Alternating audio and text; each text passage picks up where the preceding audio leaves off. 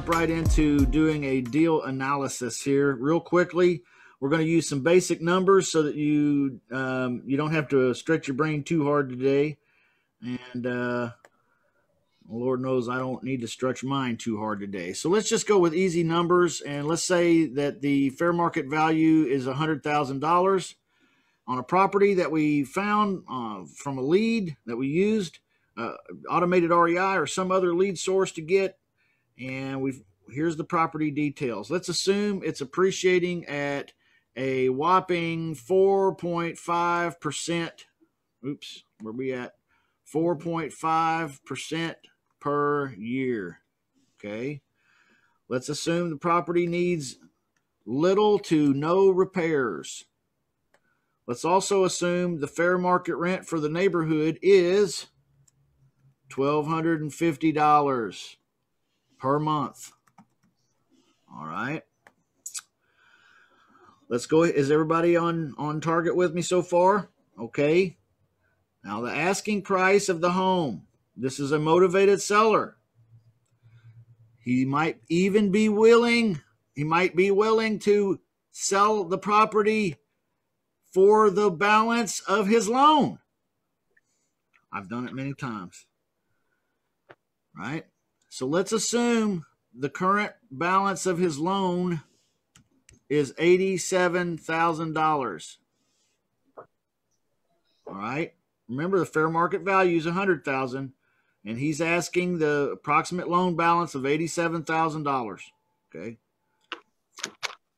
Now, down payment, he's not going to get anything. We're going to start seeing these more and more. You just bet on it. All right, over the next year or two, we're going to find a lot of these. Be prepared. Option term, Let's say he's okay with three years or 36 months. Okay. There are no arrears.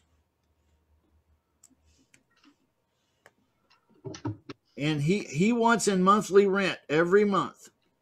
He wants in monthly rent every month enough to cover his payment. P I T I. His payment is only $845 a month.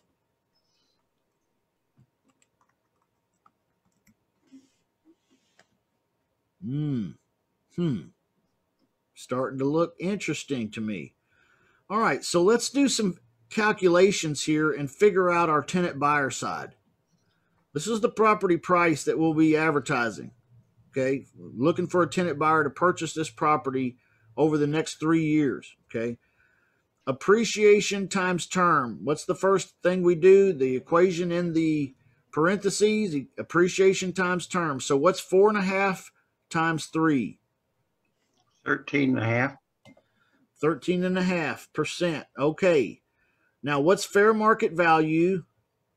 100,000 plus 13 and a half percent.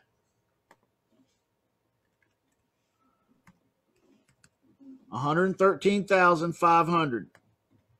That would be the new purchase price for our tenant buyer.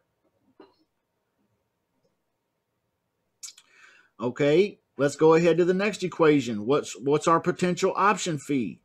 The tenant buyer price of 113,500 minus the seller's asking price of 87,000. I got to get the calculator out now. 113,500 minus 87,000 is $26,500. Okay. So okay. I'm going to write that down. 26,000 $500. Hmm. Tenant buyer rent. The fair market rent for the neighborhood is 1250, so I should be able to find a tenant buyer that would be able to pay somewhere around 1250, maybe even 1300 because this is a special rent to buy opportunity. Okay? So, now we have, you'll notice an additional column here that's not on the, the assignment lease options form we've looked at before. Now we have the green column for sandwich profits. So let's figure up our sandwich profits here. The first thing we want to do is we want to figure out our total our total profits. We already have. It's 26,500. Okay? So I'm going to write that down right here. 26,500. How much could we reasonably expect in remember our qualifiers up here must have larger total equity profits than can be reasonably expected in upfront an upfront option fee from a tenant buyer. This is a hundred thousand dollar house. Am I going to be able to get twenty six thousand five hundred dollars in cash from a tenant buyer? Probably not. Not likely. When am I going? What What is more likely for me? On a hundred thousand dollar property, what's more likely that I'll find tenant buyers that have how much? Ten percent. Perhaps ten percent would be a, a a sizable amount. Okay, so let's assume we're looking for ten percent of one hundred and thirteen thousand five hundred, which would be eleven thousand three hundred and fifty dollars. That sounds kind of steep, even, but let's assume that. Okay, let's let's go for eleven thousand $350. That's 10%. All right. How much does that leave in profits for the back end? How do I figure that up?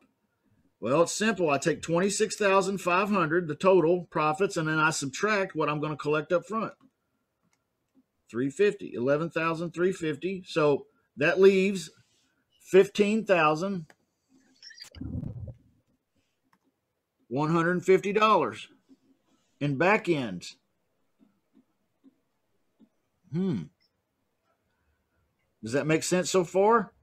I'm going to collect 11,350 up front and I'm still going to have $15,150 in equity that I haven't collected yet, but I will when they purchase the property.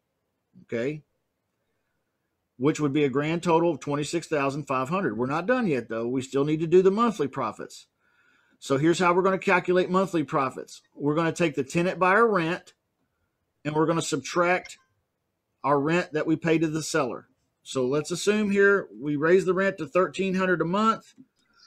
We're going to pay $845 in seller's mortgage, PITI.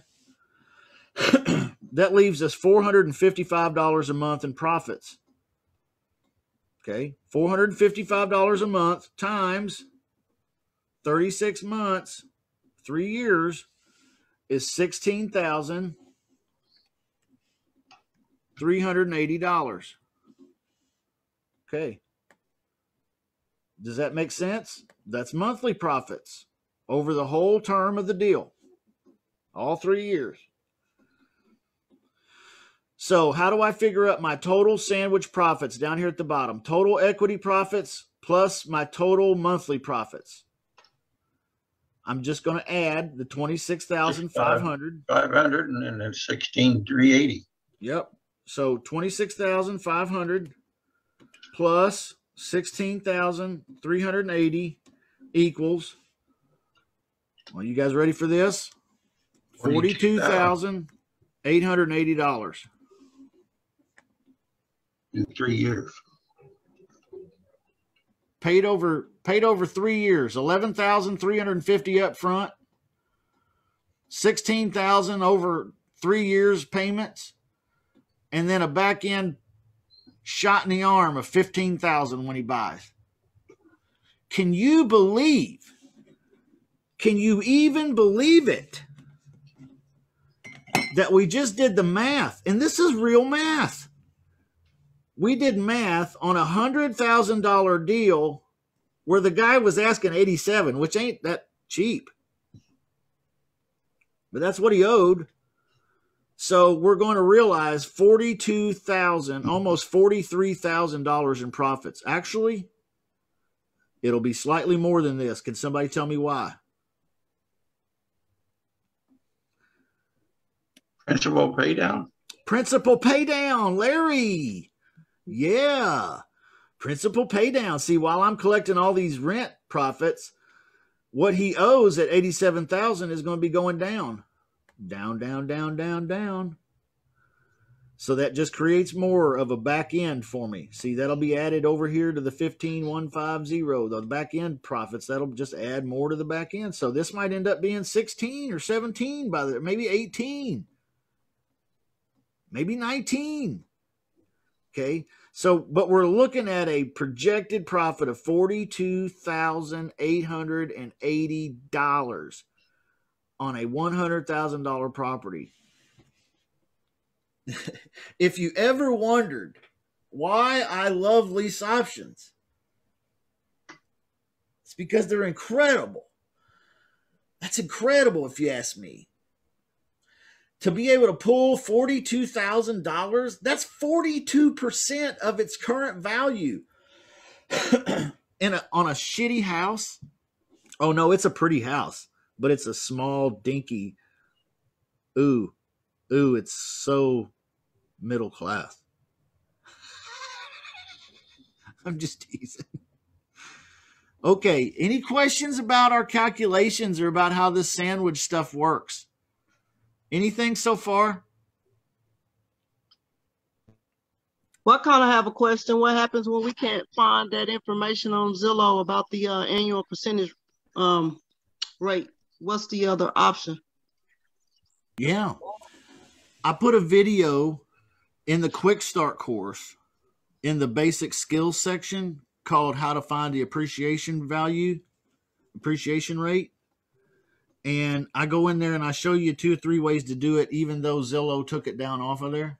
You can still get it off zillow and then use a calculator but i, I go through it step by step. It takes like i think the video's eight minutes long or something. So it's not that long. Yep.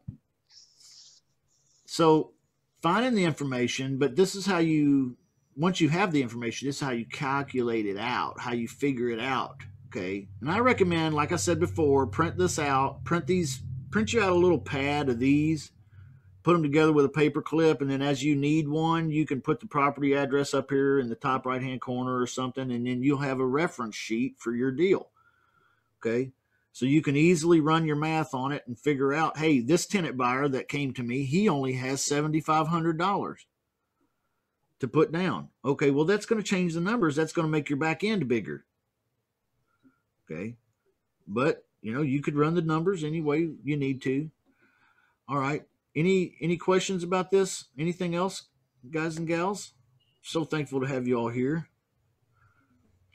Uh, there's not one on there yet, but I will put it in the Facebook group and then I'll eventually add it to the VIP Quick Start course. I don't have a place to put it in there just yet, but I'm going to add a module in the Quick Start course with uh, some of these trainings in it and this this form, this analysis form, and all that. I'll get you guys this form. Don't you worry. I know it. Thank you. Yeah, yeah, it's cool, dude. Okay, anything else? Anything else? Anybody here got an appetite for a forty-two thousand eight hundred eighty dollar kind of profit deal? Nobody? Nobody wants it? Yeah. Yeah. Definitely. I'll take it. Okay, what would happen just for fun? Let's just daydream, you know. And, and I'm all about daydreaming. When I was in school, they back in grade school before they started giving grades, you know, they would just send home check marks and stuff like that on a little like one of my things was is uh doesn't listen and follow directions. That was a big problem. I never got that one. I always got like an X on that one. And then another one was that I I daydream a lot.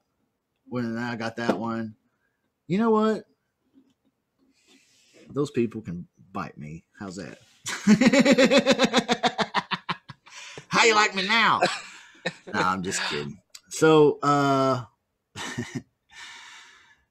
what was I going to say? I don't remember. Let's daydream. What would happen if we push it from a hundred thousand?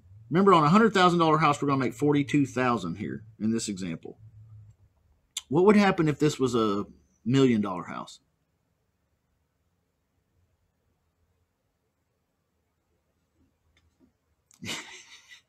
What's the potential on a million dollar house? Come on, y'all. That's a lot more. It's like, Yeah. could you make okay? So a hundred thousand times ten is a million. So if you're going to make forty-two thousand on a hundred thousand, is it, is it maybe possible that you could make four hundred twenty thousand.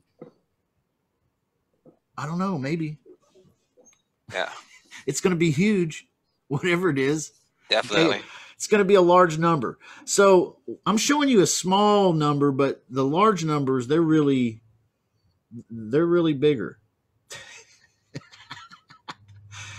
uh, uh, that's a Justinian. Uh, that's a Justinian code proverb. The larger numbers they're definitely bigger. Hey Justin, I don't know if you ever said it before, but is there uh like a amount where you say, okay, that's just too damn high for a lease option situation? Like, would you actually try to lease option a million dollar house? What would be like the down payment that somebody ridiculously would try to pay? Yeah, you know, you never know. Uh, I, I will try to do a million dollar house. Damn. I will ask for at least a hundred thousand dollars down. Okay, up front. What do you think you would have to give the owner of that hundred thousand? All of it? No, no, depends. You know, depends on the guy. Each deal's different, but you know, it's possible to get a million dollar deal under contract and only owe the guy twenty or thirty thousand. Wow. That's possible. Yeah, I mean that makes sense. That's two, three percent, right? okay. So you know, uh, think big, dream big. dream Okay. big. It's okay to dream big. You know, um, I think we look at ourselves like we're little people a lot, and in a way, maybe we are. And that- in a way, that's one of your best. It's one of your best uh, qualities. Is to be a small guy like me. See, I can make a change real quick. I can get in. I can sneak in and get a big deal and sneak right back out. Okay, I don't have to carry the burden of a corporation or bullshit. So, dream big, guys. Don't think because you're just a solo person you can't make huge deals happen. Every huge deal that happens, someone gets paid.